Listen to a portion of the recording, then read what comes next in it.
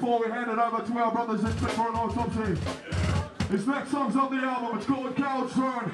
It's a favourite of mine. I hope it's a favourite of yours.